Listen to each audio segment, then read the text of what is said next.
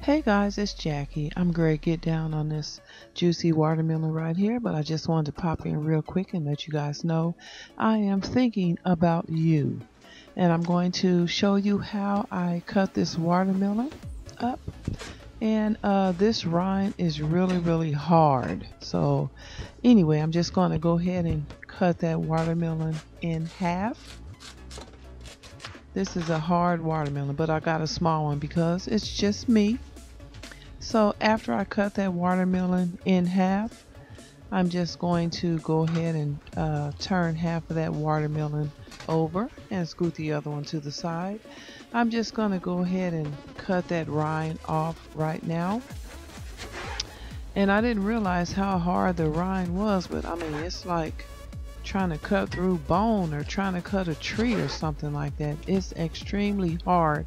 And I even sharpened my knife before I started. But anyway, you're just going to cut that rind off to the best of your ability. And you're going to go ahead and cut the uh, white part off that's left on the watermelon.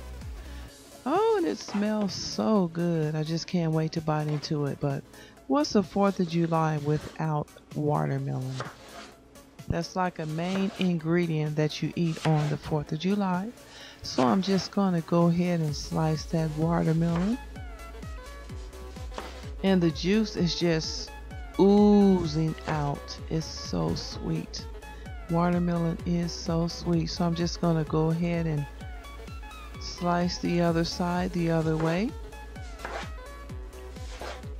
It's so juicy. Can you see all that juice just oozing out on my cutting board? Oh, it's so juicy.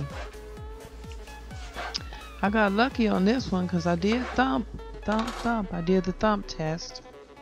So after I cut those in those squares, I sliced them both ways. I'm just going to place a bowl right on top of that watermelon and I'm just going to turn that over and deliciously watermelon all chopped up inside the bowl. So good. And I'm just going to go ahead and taste that watermelon. I already know it's sweet from the smell and from all the juice that's coming out. So the rest of the watermelon, you could just put it in containers, put it in your refrigerator, and whenever you want to eat watermelon, you could just grab a container and chow down. Thank you for watching. I love you guys. Talk to you later. Until the next video.